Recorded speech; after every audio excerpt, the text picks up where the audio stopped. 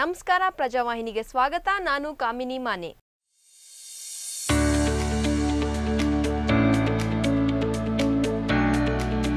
Social ಮೀಡಿಯಾದಲ್ಲಿ ಸದಾ active ಆಗಿರುವ ಬಾಲಿವುಡ್ ನಟಿ ಶಿಲ್ಪಾ ಶೆಟ್ಟಿ ಮತ್ಸ್ಯ ಕನ್ಯಾ ಅವತಾರದಲ್ಲಿ ಕಾಣಿಸಿಕೊಂಡಿದ್ದಾರೆ. ಪತಿ ರಾಜ್ ಕುಂದ್ರ ಬಂಧನದ ಸಮಯದಲ್ಲಿ ಸ್ವಲ್ಪ ಕಾಲ ಮೌನ ವಹಿಸಿದ ಅವರು ಆ ಆಘಾತದಿಂದ ಹೊರಬಂದು ಮತ್ತೆ ಸೋಷಿಯಲ್ ಮೀಡಿಯಾದಲ್ಲಿ ಆಕ್ಟಿವ್ ಆಗಿದ್ದಾರೆ. Super dancer show four season ಸೆಟ್ನಲ್ಲಿ ಶಿಲ್ಪಾ ಶೆಟ್ಟಿ ಮತ್ಸ್ಯ ಕನ್ಯಾ ಅವತಾರದಲ್ಲಿ ಕಾಣಿಸಿಕೊಂಡು ಅಭಿಮಾನಿಗಳ ಗಮನ ಸೆಳೆದಿದ್ದಾರೆ.